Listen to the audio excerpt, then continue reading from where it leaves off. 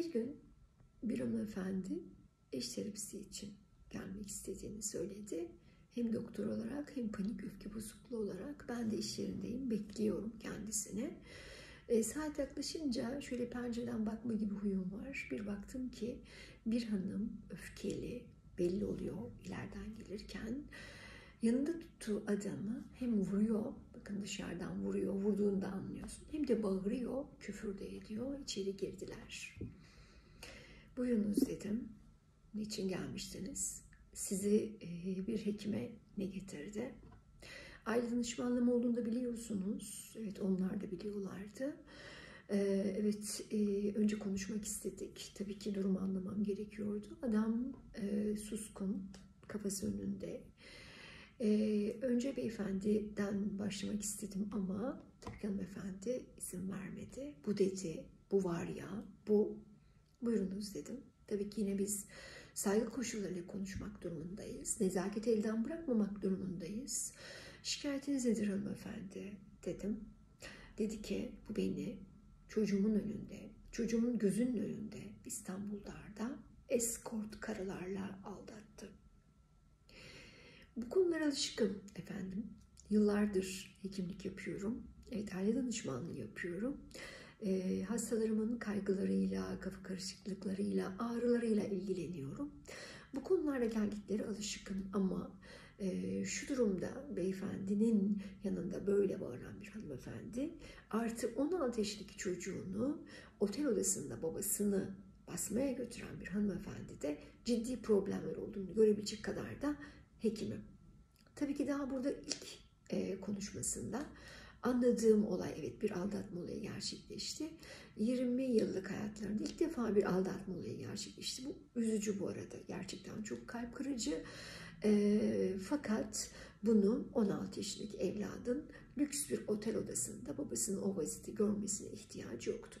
Ben çocuklar olan kısmını anne olan durumunda ele alıverince hanımefendi dönüp bana çimkirmeye başladı. Tabii ki e, seans çok nezih bitmedi burada.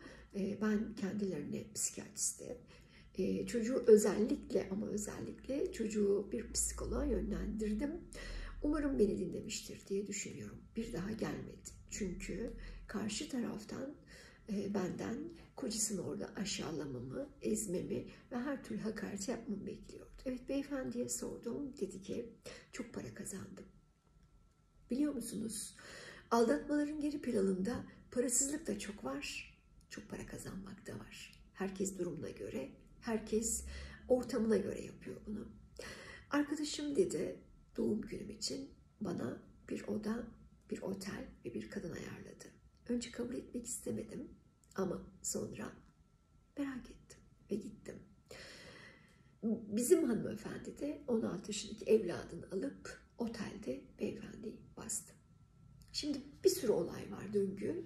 Ama burada benim açımdan bir hekim olarak evet ikisinin de gerçekten sinirleri çok yıpranmış. Ortada çok ciddi bir aldatma var. Ortada çok ciddi küfürler dönüyor. Ortada 21 yıllık e, beyefendinin böyle içine sıkılmış, böyle içine kapanmış bir halde bir kere bir, bir acaba yapabilir miyim bir hali var.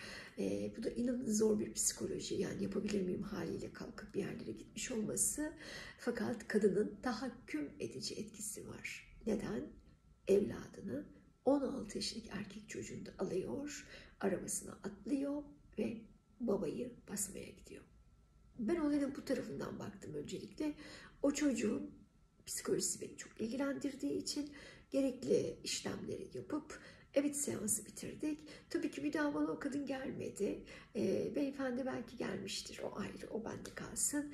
E, ama ikisinin de ciddi olarak psikiyatrik tedavi ihtiyacı var olduğunu ifade ettim. Böyle bir konumda, böyle bir böyle bir olayda e, aslında daha kolay, daha basit olabilir miydi?